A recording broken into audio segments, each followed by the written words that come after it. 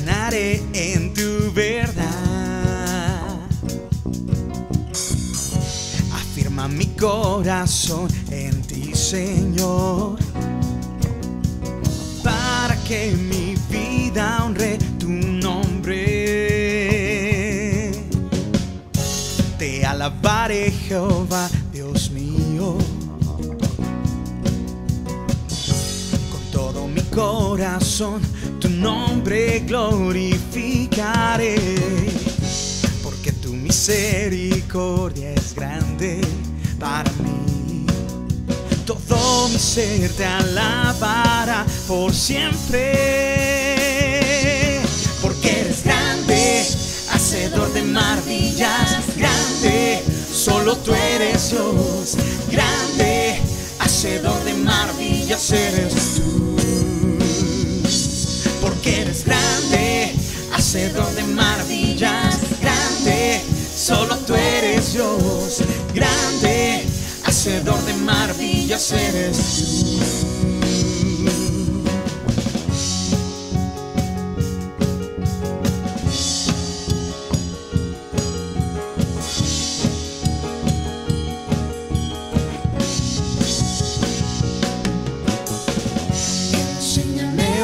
penses-tu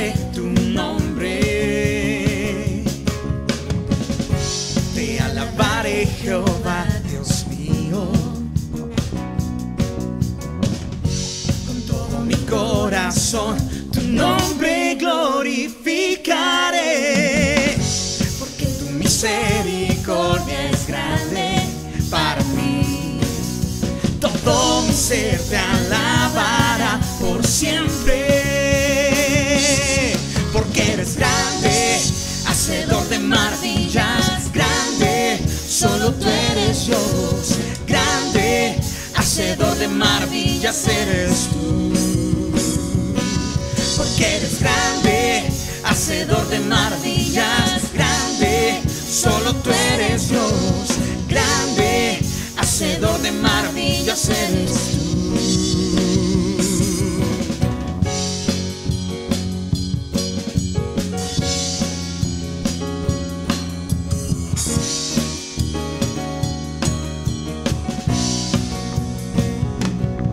Porque eres grande, hacedor de maravillas, grande, solo tú eres Dios, grande, hacedor de maravillas eres tú.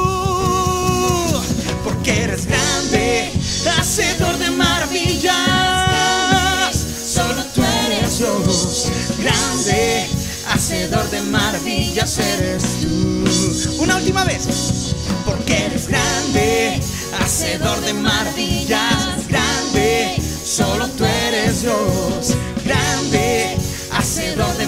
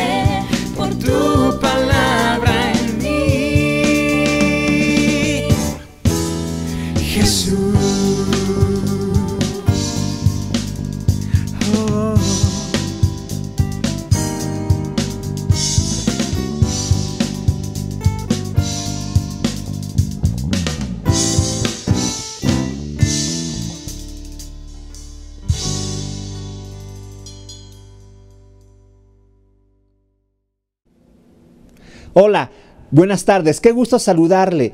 Qué hermoso ha sido poder alabar al, al, Señor y adorarlo con todo nuestro corazón. Gracias a Dios por este tiempo de alabanza que hemos tenido juntos. El día de hoy quiero compartir con usted esta predicación que es parte de la serie que estamos estudiando que se llama Lecciones de la Pandemia. Hemos estado estudiando aquellas cosas que Dios nos ha podido enseñar o que hemos podido aprender a través de esta situación. Hace unas semanas hablábamos acerca de la comunión con Dios y del propósito de Dios. Cómo es que a través de esta situación Dios nos ha enseñado a tener una comunión profunda con Él, pero también Dios nos ha enseñado el propósito que tiene para cada uno de nosotros. El día de hoy quiero compartir con usted acerca de la paciencia.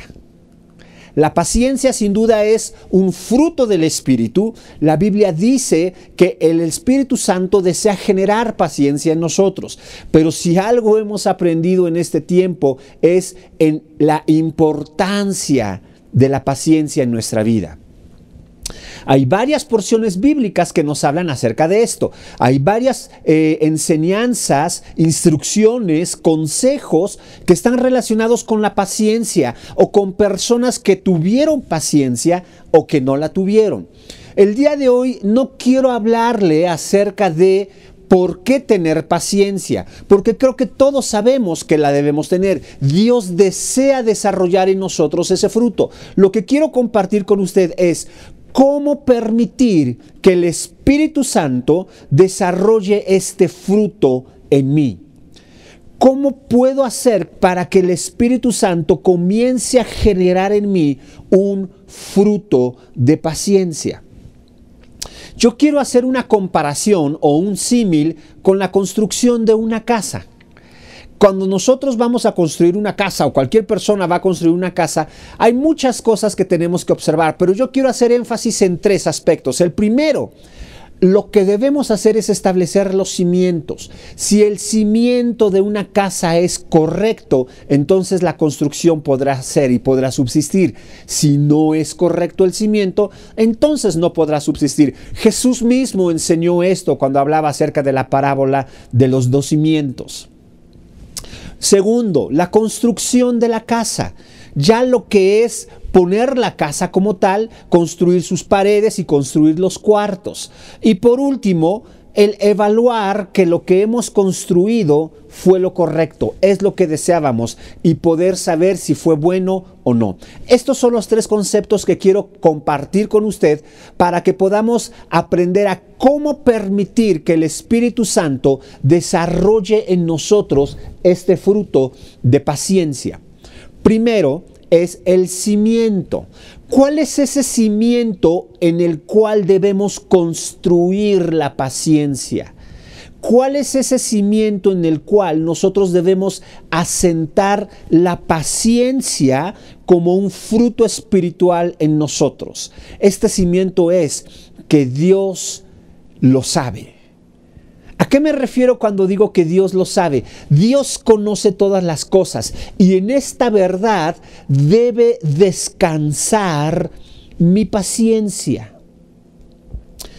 Dice la palabra en Santiago capítulo 1 en el versículo 17 que en nuestro Dios, en nuestro Padre, no hay sombra de variación. Uno de los atributos de Dios es la omnisciencia. Dios todo lo sabe. De tal manera que yo debo entender que lo que estoy viviendo en este momento que me está generando impaciencia o aquella situación que está provocando en mí el no tener la paciencia necesaria, debo entender que Dios la conoce, que Dios ya lo sabe, Dios sabe lo que estoy viviendo, Dios está enterado de lo que está pasando en mi corazón. Cuando yo entiendo esta gran verdad, que Dios es omnisciente y que Él conoce todas las cosas, incluso conoce la situación que está generando en mí impaciencia, entonces puedo desarrollar o permitir que el Espíritu Santo desarrolle paciencia en mí. Cuando el Señor Jesucristo estaba enseñando acerca del Padre Nuestro, estaba dando esta enseñanza de, la eh, oración modelo, Mateo capítulo 6, Jesús enseñó algo muy interesante a sus discípulos. Acompáñenme a leer, por favor, en este capítulo 6 de Mateo, en el versículo 7 y 8, Jesús dijo lo siguiente. Y orando, no uséis vanas repeticiones como los gentiles, que piensan que por su palabrería serán oídos. No os hagáis pues semejantes a ellos, porque vuestro Padre sabe de qué cosas tenéis necesidad antes que vosotros le pidáis. ¿Qué es lo que está enseñando el Señor Jesús en esta porción? En pocas palabras lo que está diciendo es, tu expectativa de la respuesta que esperas de Dios no está en función de ti, sino está en función de que Dios ya conoce tu necesidad. Dios sabe qué es aquello que necesitas. Por lo tanto, ten la certeza de lo que te está que aquello que te está generando impaciencia, Dios ya lo conoce. Ten la certeza de que aquello que produce en tu corazón inquietud, aquello que produce en tu corazón esa ansiedad, esa, esa sensación de incertidumbre, Dios ya la conoce. Jesucristo mismo dijo, nuestro Padre sabe de qué cosas tenéis necesidad. Una de las características de la impaciencia es que está muy relacionada con nuestra expectativa. Es decir, como yo espero que suceda algo y eso no está sucediendo, empieza a generar impaciencia en mí. Pero si yo entiendo que el que sucedan o no sucedan las cosas no descansa en lo que yo pueda hacer, sino que descansa en lo que Dios sabe y conoce, entonces puedo descansar y confiar puedo permitir que el Espíritu Santo genere un fruto de paciencia en mí. Es muy importante hacer esta aclaración. Jesucristo no está diciendo no ores. Porque algunas personas pueden pensar, ah, bueno, si el Padre ya sabe cuáles son todas mis necesidades, entonces no tiene ningún, ningún caso que ore. Puedo no orar, de todos modos Dios sabe qué es aquello que necesito y me lo va a dar. No está diciendo eso Jesús, la enseñanza que dio no se refería a eso. Lo que Jesús estaba queriendo enseñar es, no no ores, sino entiende que tu oración será respondida no por mucha palabrería, no por palabras técnicas o por la, la, pureza de tu oración en cuanto a la estructura, sino porque Dios conoce cuál es tu necesidad. Descansa y entiende que tu situación es conocida por Dios. Si tú no entiendes eso, eso te llevará a la impaciencia. Hay un personaje que nos habla, enseña de mucho acerca de eso y podríamos pasarnos prácticamente toda esta predicación estudiando a este personaje, pero no lo vamos a hacer a pesar de que tiene muchas enseñanzas respecto a la paciencia. Este hombre es Moisés. Yo solamente quiero enseñarte o compartir contigo solamente un pasaje de su vida. Dice Éxodo en el capítulo 2 que cuando cuando Moisés se da cuenta que, sus hermanos están siendo violentados, yo sé que tú lo recuerdas, se da cuenta que un egipcio está golpeando a uno de sus hermanos, dice que dice la Biblia en, en Éxodo 2, Moisés vio las duras tareas de sus hermanos. Y eso lo llevó a tomar una acción de impaciencia. ¿Por qué de impaciencia? Porque él hizo algo que Dios ya sabía, pero que todavía no era el momento en el que Dios respondiera. Se adelantó 40 años. ¿Cómo sabemos esto? ¿Cómo sabemos que se adelantó 40 años y que Dios ya tenía la respuesta? Dice la palabra aquí mismo en Éxodo capítulo 3 eh, cuando después de este evento que sucedió, eh, Moisés huye al desierto, pasan 40 años, yo sé que tú recuerdas la historia, y dice la Biblia que, que Dios se le aparece a Moisés en una zarza.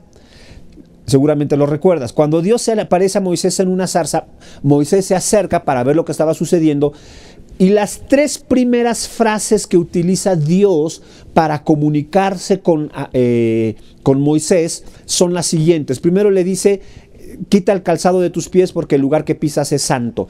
Habla acerca de su santidad. Número dos, hay que entender que Moisés no conocía a Dios. Él había sido educado con los egipcios. Moisés no conocía, por lo menos no personalmente a Dios. Así que Dios resuelve ese, segundo, eh, ese problema. Primero Dios le dijo, yo soy santo. Segundo, Dios resuelve el problema de la falta de conocimiento de Moisés y le dice, yo soy Jehová, el Dios de, Abraham, de tu padre Abraham, el Dios de tu padre Jacob, el Dios de tu padre eh, Israel. Dios eh, se de, Isaac y de Israel. Dios se presenta como el Dios de sus padres. Resuelve el problema de falta de conocimiento de Moisés. ¿Y cuál era el siguiente problema? Perdón, ¿cuál era el siguiente problema que Dios tenía que resolver? La impaciencia de Moisés porque Moisés estaba donde estaba por su impaciencia, por haber querido, haber, haber querido hacer algo cuando no era el momento de hacerlo. Así que Dios, la tercera cosa que le dice a, a Moisés es, he visto la aflicción de mi pueblo. Yo conozco su angustia. En pocas palabras, lo que Dios le está diciendo a Moisés es, aquello que tú piensas que yo no sabía, lo sé. Aquello que tú piensas que te diste cuenta, Moisés, hace 40 años dijiste, ah, oye, me acabo de dar cuenta que eh, eh, mis hermanos están sufriendo y están siendo abusados. Eso que tú piensas que te diste cuenta hace 40 años, yo ya lo sabía. Probablemente tú tienes ese pensamiento igual que Moisés. Dios es que yo estoy sufriendo. Dios es que estoy desesperado porque suceda esto. Dios es que no, no puedo esperar. Soy impaciente porque la circunstancia no cambia. Y la respuesta de Dios es la misma de Dios a Moisés hace tantos años. Yo ya lo sabía yo ya lo sé. No pienses que soy ignorante de tu condición y de lo que estás viviendo. Todo aquello que estás viviendo, Dios ya lo conoce. Por lo tanto, tú debes descansar en la omnisciencia de Dios. Solamente cuando tú entiendes que Dios todo lo sabe y que Dios conoce tu condición, que Dios conoce aquellos momentos de sufrimiento, Dios conoce aquellos momentos en los cuales has pasado por agonía, por tristeza, por desesperación, todo esto a causa de la impaciencia, debes descansar no en el hecho de que Dios te va a responder Debes descansar en el hecho de que Dios ya lo conoce. ¿Recuerdas el versículo que te leí de hace un momento del Señor Jesucristo en el Padre nuestro? Jesús dijo, vuestro Padre sabe las cosas que necesitan. Jesucristo no dijo, eh, vuestro Padre ya va a responder. Jesús dijo, tienes que entender no que Dios está, está respondiendo o que Dios te va a responder. No, tu descanso debe estar en que debes de entender que Dios ya sabe cuál es tu necesidad. La respuesta es otra cosa. La paciencia, por lo tanto, no está en función de la certeza de la respuesta de Dios. Déjame decirlo otra vez. Tu paciencia no debe descansar en la certeza de la respuesta de Dios. Tu, ser, tu paciencia debe descansar en la omnisciencia de Dios, en que Dios todo lo sabe. Y la respuesta vendrá después. Y tú no sabes cuál es la respuesta de Dios porque nuestro pensamiento es, está muy por debajo de su pensamiento, dice la Biblia. Y Él tiene pensamientos muy diferentes que los nuestros. Puede ser que la respuesta de Dios sea diferente a lo que tú esperas. Pero ese es otro tema. Insisto, tu paciencia no descansa en la respuesta de Dios tu paciencia debe descansar en que Él conoce lo que estoy viviendo, conoce lo que está sucediendo y sé que Él va a responder no de acuerdo a mis expectativas, sino de acuerdo a lo que Él desea hacer.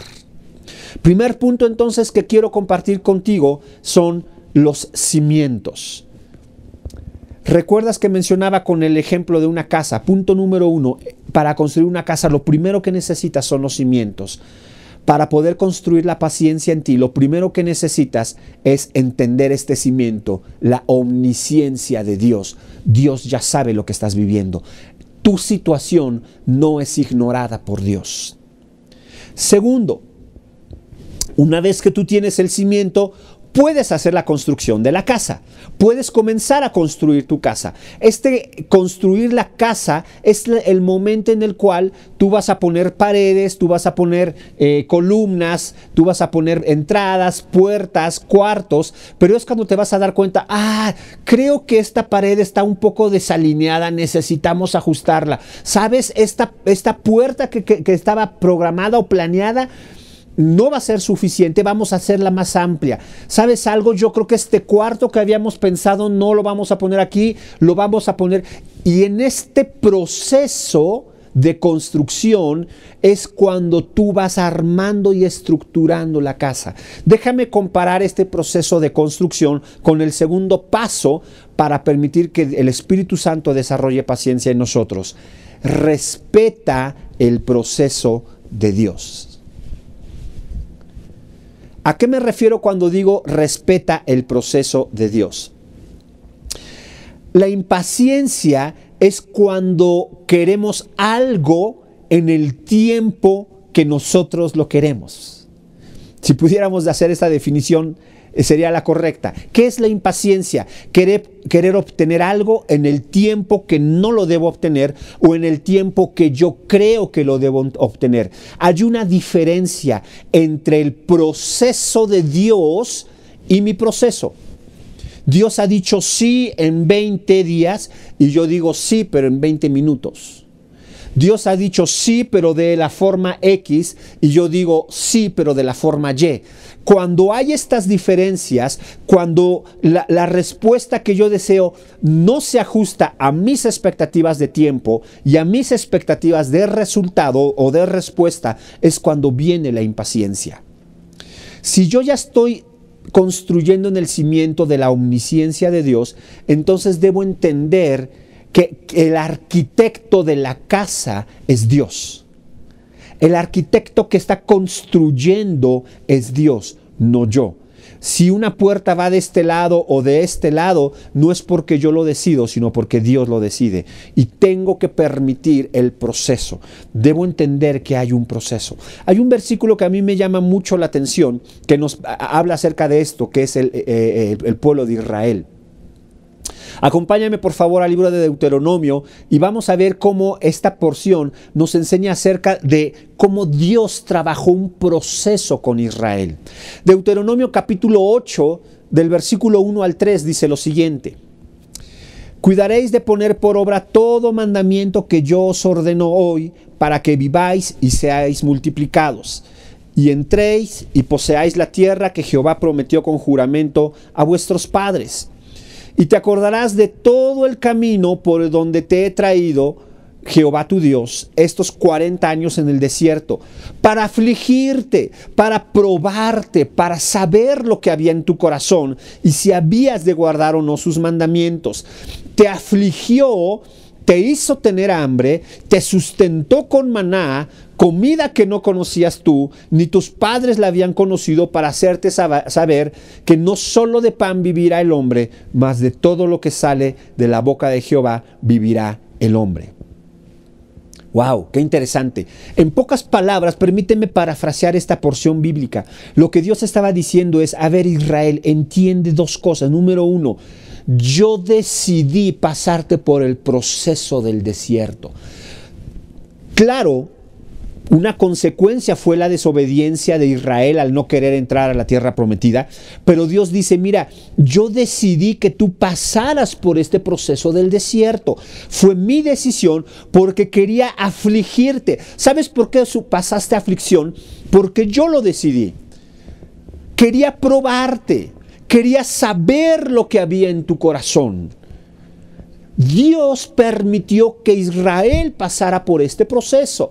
Y qué interesante es esta porción en donde dice, yo te afligí y te hice tener hambre.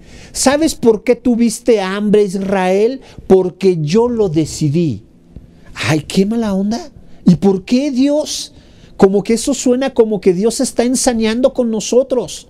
¿Sabes por qué estás pasando el proceso que estás pasando? Porque Dios lo, permitió. ¿Sabes por qué estás viviendo las circunstancias que estás viviendo? Porque Dios está probando tu corazón. Dios está haciendo que tengas hambre. Esto no significa, entre paréntesis, esto no significa que no hay responsabilidad tuya. Acuérdate, la soberanía de Dios no limita la responsabilidad humana.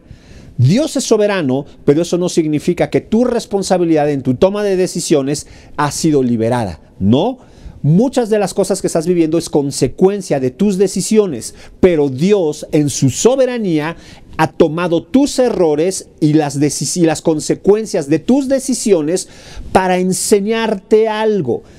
Dios tomó la decisión de Israel de no entrar a la tierra prometida. Fue su responsabilidad, fue su decisión, pero Dios tomó esta mala decisión y sus consecuencias para enseñarle algo. ¿Qué fue lo que le enseñó? Dice la Biblia aquí en el versículo 3 que leímos.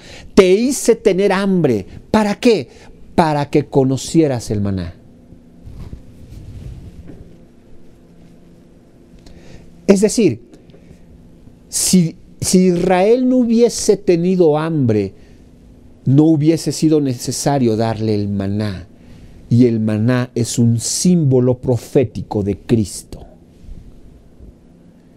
Dios lo que le está diciendo al pueblo es, necesitabas conocerme. Y dice en esta porción algo hermoso. Dice, para que conocieras el maná, comida que no conocías ni tú ni tus padres. Yo utilicé tu hambre, yo utilicé la circunstancia difícil para que tú conocieras el maná y para que yo pudiese dar este símbolo profético del Mesías. ¡Wow!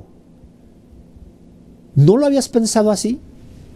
Que Dios te está permitiendo pasar por el proceso que estás pasando, por el proceso que te está generando impaciencia porque quiere que le conozcas en algún área de tu vida? Dios se revela a través de muchos nombres, como proveedor, como sustentador, como sanador, como paz, como consuelo. ¿Cuál de esos nombres Dios quiere que conozcas en medio de lo que estás viviendo? Y qué interesante es que al final este versículo termina con esta porción que es muy conocida. El, Dios le está diciendo al pueblo de Israel, yo te hice tener hambre para que conocieras el maná, comida que no conocías ni tú ni tus padres, para que entendieras que no solo de pan vive el hombre, sino de toda palabra que sale de la boca de Dios. ¿De esto te recuerda algo? Así es, al Señor Jesucristo. El Señor Jesucristo utilizó esta parte eh, eh, eh, de las escrituras en la tentación. Y le dijo a Satanás, no solo de pan vivirá el hombre, sino de toda palabra que sale de la boca de Dios. Y qué interesante, déjame precisamente tomar esta porción de la tentación de Jesucristo. Solamente algo muy corto. ¿Recuerdas tú cuál fue la segunda tentación del Señor Jesucristo? Bueno, en Lucas es la segunda tentación, pero en los otros evangelios es la tercera dice Lucas capítulo 4 del versículo 5 al 7 que le llevó el diablo a un monte y le mostró en un momento todos los reinos de la tierra. Y le dijo al diablo, a ti te daré toda esta potestad y la gloria de ellos porque a mí me ha sido entregada y a quien quiero la doy. Si tú postrado me adorares, todos serán tuyos. Eh, yo siempre había pensado que la tentación, esta tentación de Satanás hacia el Señor Jesucristo, estaba en función de eh, el poder, las riquezas, las posesiones, pero no necesariamente. Puede ser que también le haya tentado en su naturaleza humana eh, eh, en, en ese aspecto, en las posesiones, en las riquezas. Pero hay algo muy interesante. Dice la palabra en Colosenses capítulo 1 que Jesucristo, por decisión del Padre, es el primogénito de toda la creación, así dice la palabra. Y dice que todas las cosas que hay en los cielos y en la tierra, visibles e invisibles, sean tronos, sean dominios, sean principados, sean potestades, todo fue creado por medio de Él y para Él. ¿Esto qué significa? Todos los reinos fueron creados para Jesucristo. No te pierdas esto. Todos los reinos de la tierra y del cielo, toda la autoridad fue creada para qué? Para ser sometida a Jesucristo. Pero había una un proceso, una condición. ¿Cuál es ese proceso o condición? Dice Efesios 1 muy claramente que cuando Jesucristo fue resucitado por el poder del Espíritu Santo, dice la Biblia que Jesucristo fue resucitado y fue sentado a la diestra del Padre y en el momento en el que es sentado a la diestra del Padre, entonces toda autoridad, todo poder, todo dominio, toda potestad, todo reino es puesto debajo de sus pies. ¿Cuál era la tentación de Satanás? Yo te puedo dar toda la autoridad, todo el poder, todo el dominio, todos los reinos sin necesidad de que hagas el proceso de morir. ¿Te das cuenta? La tentación de Satanás era, ¿para qué esperas este proceso? A ver, si lo que Dios quiere es que tú seas entronizado, si lo que Dios quiere es que tú, Jesucristo, tengas toda la autoridad y todos los reinos, yo te los doy. No, es necesario que mueras, no es necesario que esperes. ¿Para qué vas a tener tres años y medio de ministerio? ¿Para qué vas a morir sufriendo una muerte dolorosa y espantosa? ¿Quieres ser puesto en autoridad? Yo te los doy. Yo te doy los reinos, le dijo Satanás a Jesucristo. Yo te los doy. Ahí estaba la tentación. Y esa es la principal característica de la impaciencia. Si tú lo ves así, la impaciencia entonces es un pecado. Porque en la impaciencia lo que busca es quitar el proceso que Dios quiere trabajar contigo y obtener solamente el resultado.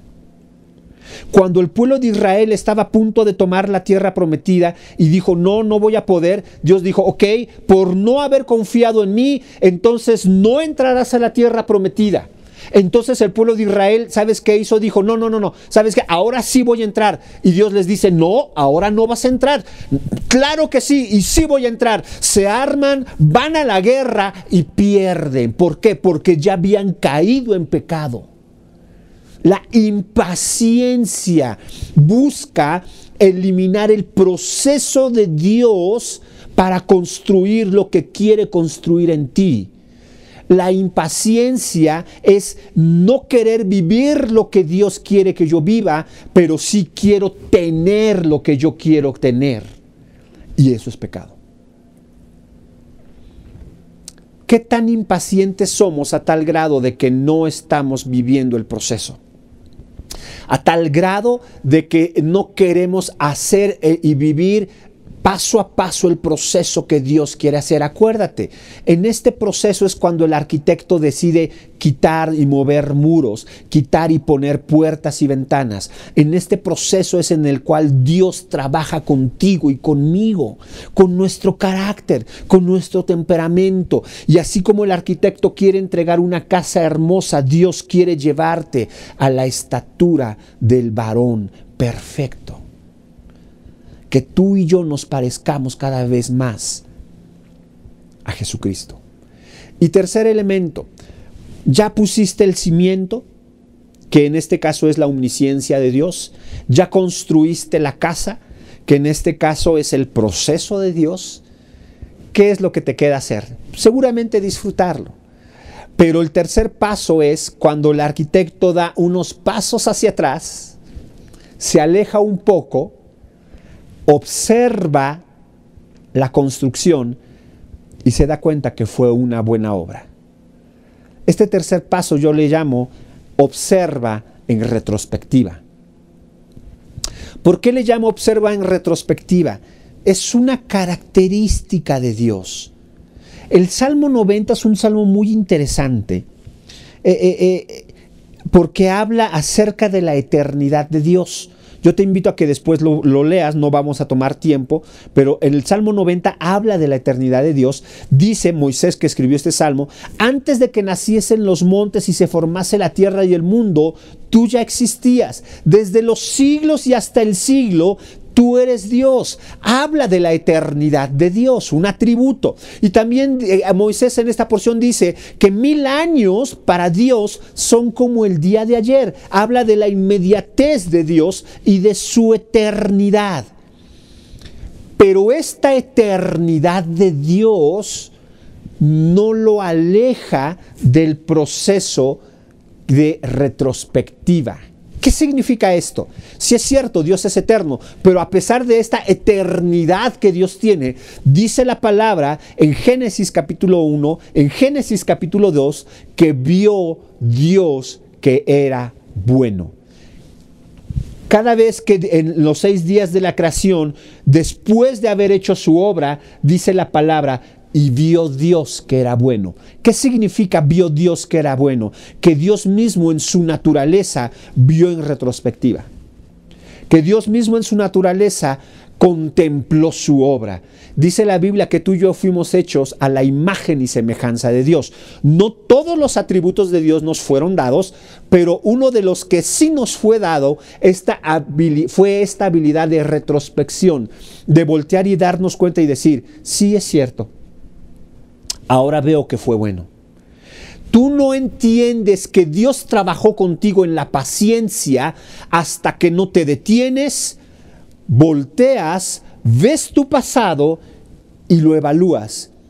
Y así como Dios dijo, vio, y como la Biblia dice, vio Dios que era bueno, tú puedes decir, sí, Dios ha sido bueno. No me había dado cuenta, pero Dios ha trabajado conmigo.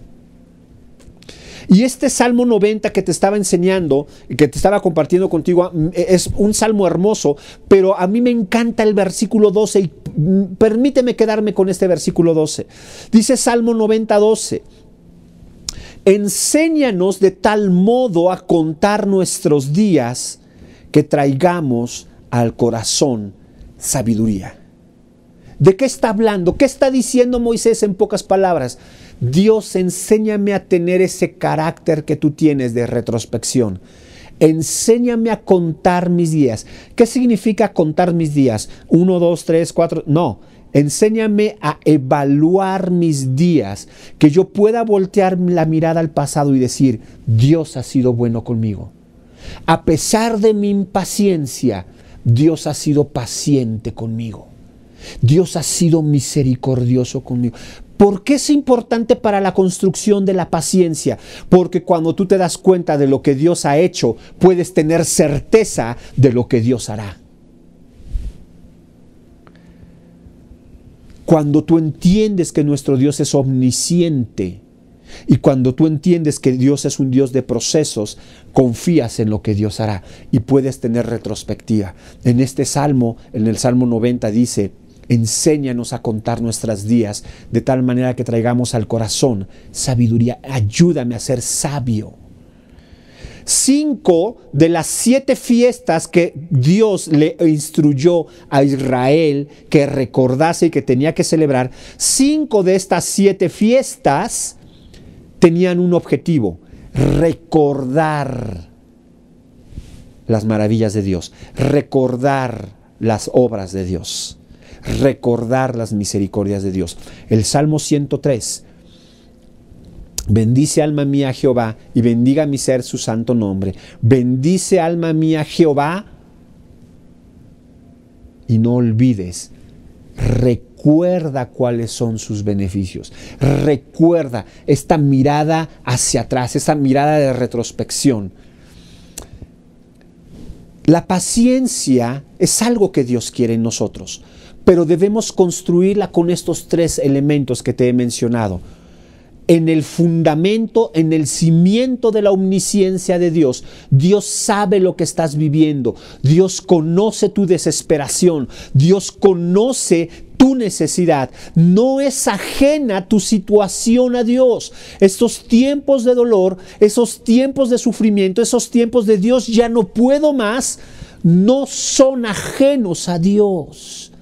Número dos, permite que Dios siga trabajando en el proceso. El que la casa no esté terminada no significa que Dios no está trabajando en ella. Acepta y respeta el proceso de Dios. No caigas en la tentación de querer obtener lo que quieres al final sin vivir el proceso. Y número tres, observa en retrospectiva. Ve hacia atrás y recuerda todas las cosas grandes que Dios ha hecho contigo y entenderás que la paciencia en las manos de Dios sí funciona. Y Dios quiere darte esa paciencia que Él ha tenido contigo. Dios ha sido paciente contigo y quiere darte esa paciencia para que tú soportes lo que estás viviendo el día de hoy. Dios te damos gracias por tu amor. Gracias porque tú has sido paciente con nosotros y tú deseas generar en nosotros este fruto de paciencia. Gracias porque esta es una lección que podemos aprender en estos tiempos, la paciencia.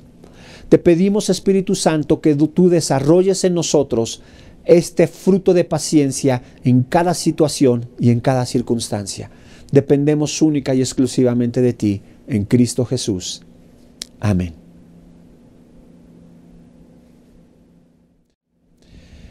Hermano, les pido que en este momento hagamos una oración. Vamos a pedir por nuestros diezmos y ofrendas y dar gracias a Dios porque a través de los diezmos y ofrendas podemos ver el amor, la misericordia y la paciencia de Dios para con nosotros y para con todas aquellas personas que predican su palabra. Dios, gracias te doy por eh, los diezmos y ofrendas. Gracias porque tú pones en el corazón de cada persona el querer como el hacer, Señor. Ayuda, Padre, a cada familia y a cada persona que podamos ofrendar de, eh, de nuestro corazón, con un corazón amoroso y agradable, Señor, y lleno de agradecimiento a ti, Padre.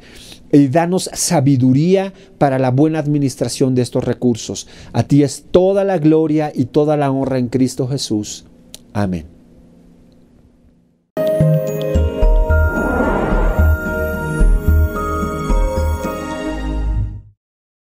Ahora queremos compartirte información muy importante. Regresa a Oanza. Conéctense este sábado 6 de febrero de 10 de la mañana a 12 de la tarde.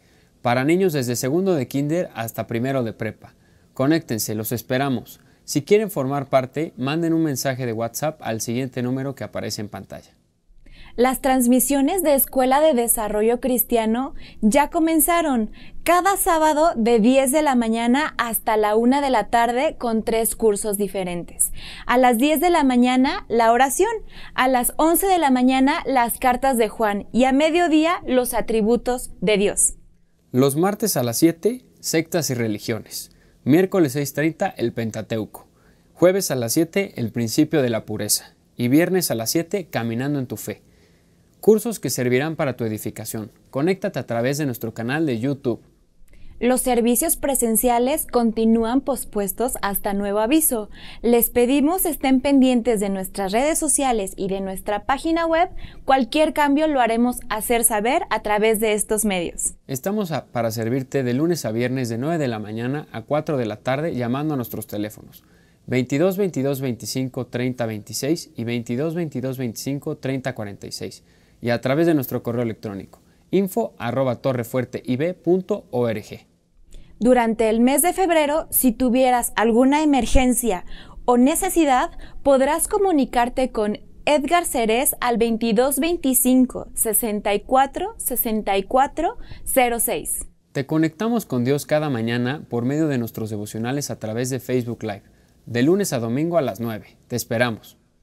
Efecto 413 te invita a sus reuniones cada sábado por la plataforma de Zoom a las 5 de la tarde. Quédense pendiente de nuestras redes sociales para los detalles. Unis y Vínculo de Profesionistas te invitan a sus reuniones regulares por Zoom, martes a las 8 y hoy miércoles 8.30, respectivamente. No te lo pierdas. Papás, no olviden que los niños Torre Fuerte tienen las transmisiones en vivo de su escuela dominical cada sábado a través de la plataforma de YouTube a mediodía.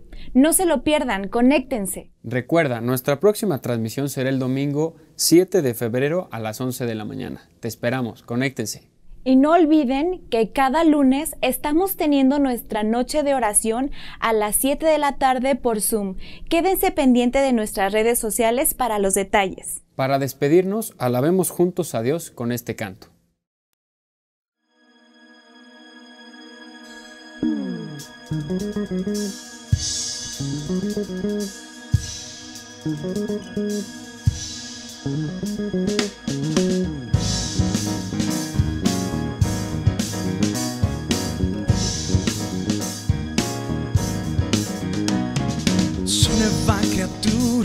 Declara la escritura.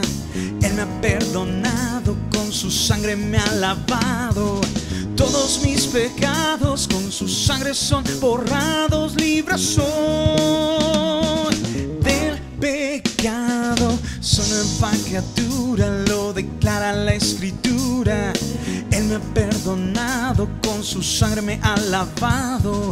Todos mis pecados con su sangre son borrados, libre soy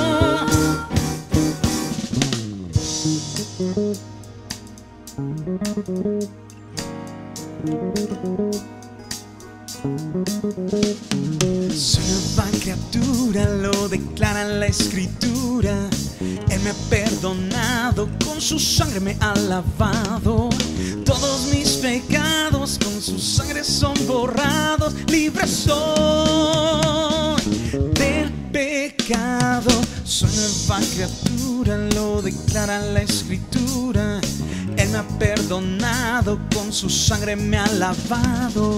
Todos mis pecados con su sangre son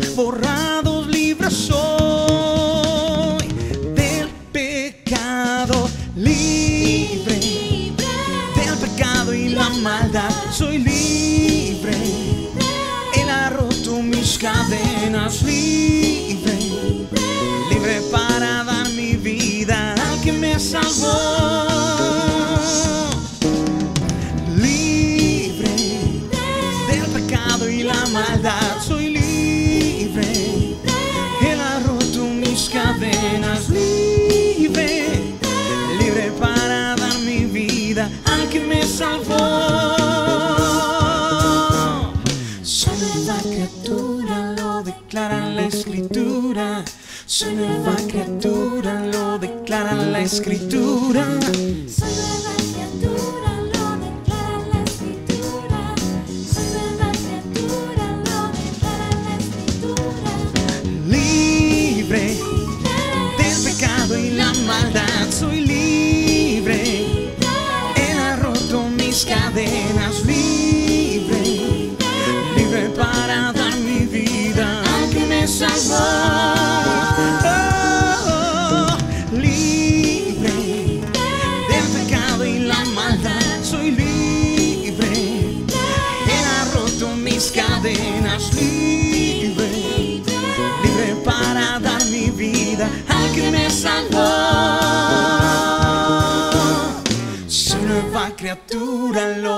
La escritura.